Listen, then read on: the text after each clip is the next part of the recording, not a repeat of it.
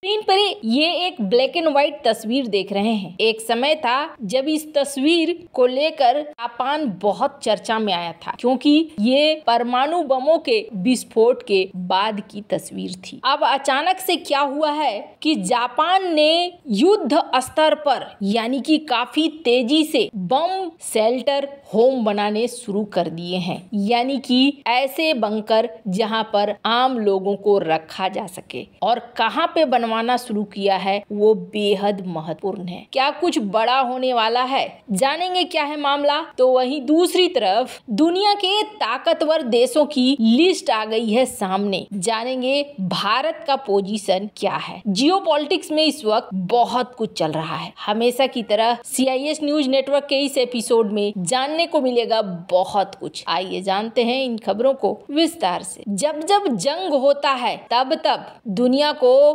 एक खास बंकर की ज़रूरत ज़रूर महसूस होती है। हाल फ़िलहाल में जापान की फॉरेन मिनिस्टर जब यूक्रेन गई थी तो यूक्रेन में स्क्रीन में ये तस्वीर देख रहे हैं आप। वहाँ पर कुलेबा ने उनके साथ जो मीटिंग की थी, वो मीटिंग एक बंकर में किया था। वैसे तो कहने वाले ये कहते हैं कि जानबूझकर सायरन की आवाज़ इस तरीके से सुनाई दी गई थी कि ये बहुत खतरनाक माहौल है क्यू में, राजधानी में, और उसके बाद ये मीटिंग की गई थी इस बंकर वाले बम रोधी शेल्टर में। अचानक से जापान को क्या ज़रूरत पड़ गई है कि जापान ने इस तरह के बंकरों का निर्माण करना शुरू कर दिया है। स्क्रीन पर एक बंकर देख रहे हैं। कुछ इस तरीके के बंकर कथित तौर पर बनाए जा रहे हैं। स्क्रीन पर एक मैप देख रहे हैं आप। वैसे तो ये रहा जापान और जापान से दूर ये रहा ताइवान। लेकिन बीच में कई सारे छोटे छोटे द्वीप हैं और इन द्वीपों में निर्माण हो रहा है इन खास तौर पर भूमिगत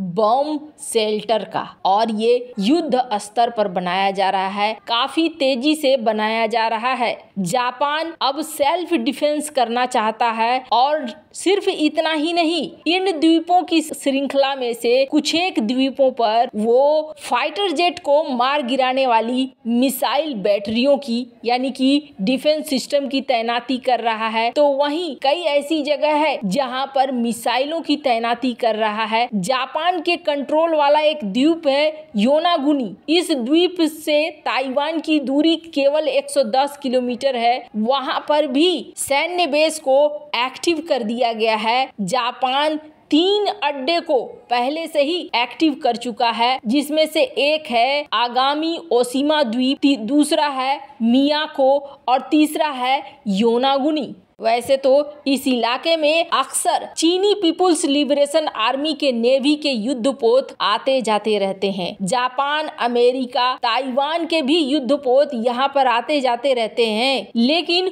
29 मार्च को जापानी सरकार ने एक फैसला लिया है, पाँच नगर पालिकाओं इसी गाकी मिया कोजिमा योनागुनी, ताकेतोमी और तरामा में बम आश्रय स्थल बनाने का फैसला किया है। इनमें से योनागुनी और मिया कोजिमा के पास हवा रोधी और जहाज़ रोधी मिसाइलें भी तैनात की जाएगी। इन शेल्टर होम में 30 सेंटीमीटर मोटी स्टील और कंक्रीट को मिलाकर दीवारें बनाई जाएँगी और कम से कम दो हफ़्ते के लिए पर्याप्त भोजन और पानी को जमा किया जा सकता है। शेल्टर होम के लिए जो डिज़ाइन तैयार किया गया है, उसमें वॉशरूम उठने बैठने की व्यवस्था वगैरह सब की कल्पना की गई है। हर आदमी के लिए करीब दो वर्ग मीटर का स्थान दिया गया है। वहीं जापान की केंद्र सरकार इन सुविधाओं के लिए खर्चा करेगी। कहा जा रहा है कि निवासियों को डर है कि ये योजना अगर चीन ताइवान पर आगे बढ़ने की अपनी धमकियों को सही साबित करता है तो हमले का खतरा बढ़ जाएगा। लोगों को डर है कि चाइना फिर जापान के कई सारे इलाके में हमला कर सकता है। जुलाई 2023 में योनागुनी के मेयर ने इस बारे में बात भी की सरकार से, जिसके बाद ये तय किया गया कि शेल्टर होम बनाए जाएँगे और वो इलाके जो नगर पालिका से काफ़ी दूरी पर है, वहाँ पर खास तौर पर इन शेल्टर होम्स का निर्माण किया जाएगा। जापान ने तो योनागुनी द्वीप पर मिसाइलों की तैनाती भी कर दी है, जिससे चीन के मिसाइल बेस पीएलएन आर्मडा के उत्तरी हिस्से को बड़ा खतरा पैदा हो गया है। जापानी टाइप 12 एंटीसिप मिसाइल भी यहाँ से चीनी युद्ध पोतों पर दागी जा सकती है, जिनसे उनकी सामरिक गणना गड़बड़ा सकती है। जापान ने अपने आप को काफ़ी हद तक बदल दिया है। जापान ने मिसाइल विकास और खरीद योजनाओं के साथ साथ अपनी सेना का भी समर्थन किया है। इससे पहले ही Norwegian joint strike missile JSM इसके अलावे एक हज़ार किलोमीटर रेंज वाली US joint air to surface stand off missile की भी तैनाती की गई है। कई सारे ऐसे प्रोग्राम के लिए जापान ने हाँ कर दिया है। जापान अपने भी कई मिसाइलों को बदल रहा है। जापान चीनी आक्रामकता को जवाब देने के लिए हाइपरसोनिक मिसाइलों पर भी तेज़ी से काम कर रहा है। लेकिन ये जो बम शेल्टर होम बनाए जा रहे हैं, ये चीज़ें साफ़ बता रही हैं कि आने वाला समय थोड़ा बुरा हो सकता है, जिसकी तैयारी अभी से की जा रही है। खैर, दुनिया भर के शक्तिशाली और कमज़ोर देशों की अक्सर बात होती है। वैसे तो देशों की ताकत को आर्मी की पावर से देखा जाता है, लेकिन दुनिया में शक्ति के पैमाने अब बदल गए हैं। सैन्य शक्ति के साथ साथ किसी देश का राजनीतिक प्रभाव, आर्थिक संसाधन और इसके अलावे कई सारी चीज़ें अब कारण बन गई है। जैसे कि क्या वो देश लीडर है, दुनिया में अगुवाई कर रहा है?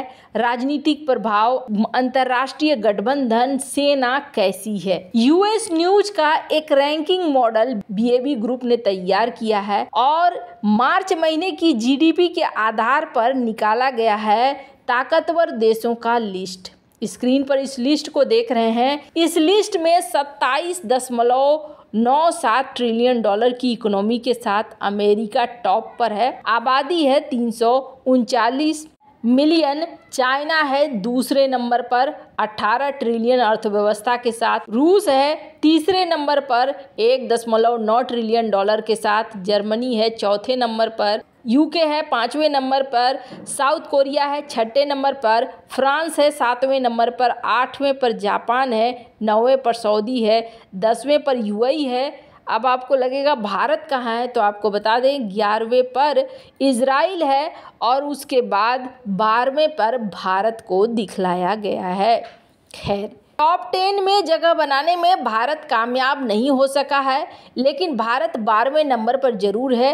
इस लिस्ट में ग्यारहवें नंबर पर इजराइल है, इसके बाद भारत का नंबर है। भारत की अर्थव्यवस्था तीन दशमलव तीन नौ ट्रिलियन डॉलर की है। रिपोर्ट में कहा गया है कि किसी देश की जनसंख्या का आकार उसकी शक्ति रैंकिंग को प्रभावित कर सकता है। बड़ी आबादी का मतलब बड़ा कार्यबल हो सकता है, जो आर्थिक विकास को गति देगा। हालाँकि न केवल आकार, बल्कि जनसंख्या की मानव पूंजी, शिक्षा और कौशल भी किसी देश के शक्ति में योगदान देते हैं। वैसे आपको क्या लगता लगता है इन सब मामले में आपकी क्या राय है? कमेंट कर ज़रूर बताएँ। जल्द मिलते हैं अगले वीडियो में नई खबर के साथ।